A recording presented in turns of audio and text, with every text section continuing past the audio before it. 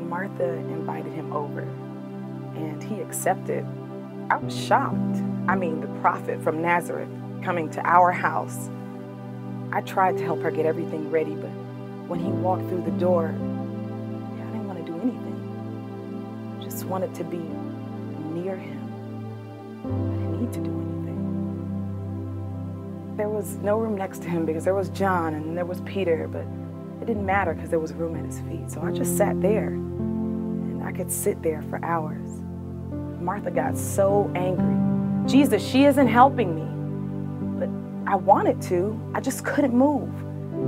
When he spoke, he spoke in a way that I've never heard a man speak before or ever heard a man speak since. When my brother died, I was overcome with grief. Just cried and cried for days. As I was weeping, Martha came in and said, My Lord wants to see me. So I ran to meet him. I wasn't angry with him. I just knew that if he had been there, my brother would not have died. And I fell and I wept.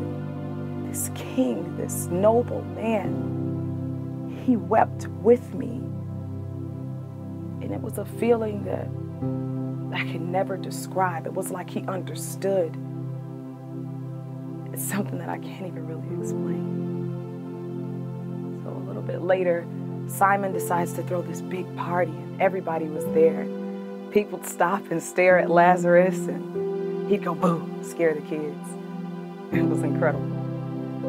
I just watched Jesus, the way people always asked him for things. I just wanted to give him something. So I thought, what do you give a king? The most expensive thing I had was this oil. So here I am at this party. And I approach Jesus and kneel at his feet. And I take out the most expensive thing that I had.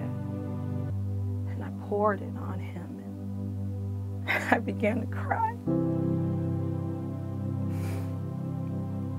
I wept oil and tears and I dried them with my hair and Judas began to scold me about how wasteful I was being.